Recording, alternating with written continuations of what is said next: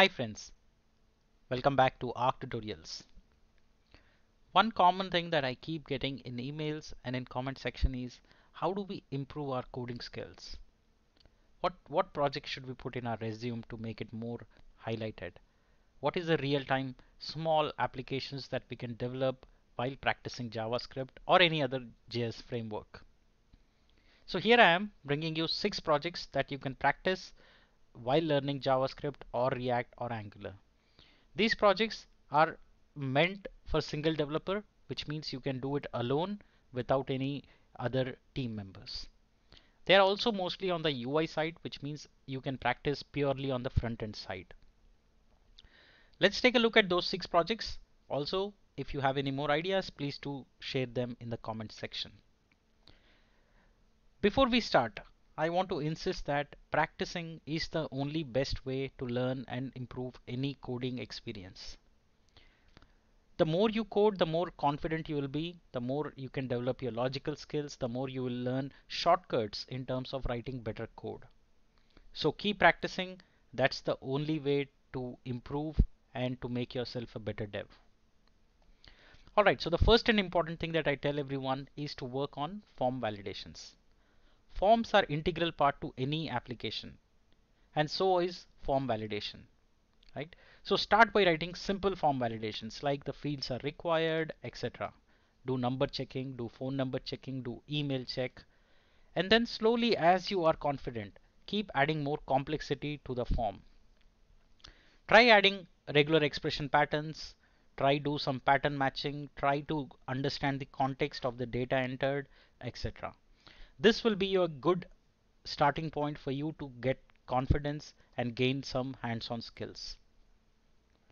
The next thing that you should try is create a simple interactive image gallery. This is a very simple thing. Take a few bunch of array of images, start displaying them. When you click on the image, open up a modal window or a pop-up which will show the enlarged image. If you're confident with it, extend it by adding more functionalities like cropping effect, zoom in, zoom out, download, etc. Yet another very innovative one to put it on your resume so that you can talk about it, you can explain them what you have done, and it's fairly something that is used in most applications. Now, this is something that I encourage people to try because this has a lot of variations in terms of what data can be entered. Create a simple app for conducting quizzes, right? So the questions can have different formats to answer like radio, checkbox, multiple options, etc.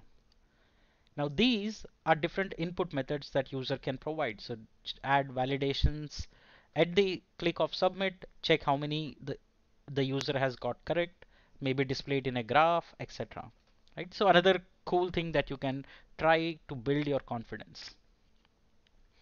Now this is the dead simple if you are absolute beginner just starting out start by doing a simple calculator right? A lot of times you would think that oh it's just a dummy idea but no it's not. It has a lot of logical things that you can work with it like addition subtraction multiplication divide percentage etc you would also learn how to work with keyboard inputs right? Those, those are the things that you should focus when building this particular project now, if you're learning about integration with backend, try this weather forecast application. You have a lot of external APIs that are already available, which provides you with the weather forecast API and endpoints, which provide you data.